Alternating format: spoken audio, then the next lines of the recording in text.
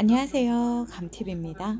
아, 요즘 너무 바쁩니다. 마늘, 완두, 상추, 시금치 심고 들깨 털고 벼수학하고 영상을 찍어도 시간이 없어서 편집 시기를 놓치게 되네요. 오늘은 끝고추를 따고 고추대 뽑고 정리를 하고 왔습니다. 고추대를 뽑고 정리하는 영상은 작년 영상에 있어서 올해는 고추장아찌 쉽게 담그는 모습을 담아봤습니다.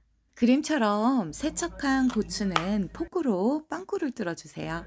참 얘들은 청양고추랍니다. 청양고추를 사용하시면 매콤, 달콤, 새콤해서 앉은 자리에서 밥 한 솥을 먹게 된답니다. 완전 밥도둑이랍니다.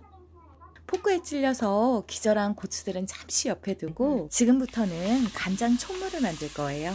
비율은 1대 1대 1대 1대 1입니다. 설탕 1, 간장 1, 매실액 1, 감식초 1, 소주 1입니다. 그림처럼 1대1의 비율로 넣으셨다면 끓여주시면 됩니다. 식초는 마지막에 넣어주세요. 그림처럼 간장물이 끓을 때 넣어주시면 됩니다. 이렇게 바글바글 다 끓은 촛물은 불을 끄고 5분간 식혀줍니다. 간장 촛물이 식는 동안 열탕에 둔 유리병에 고추를 담아줍니다.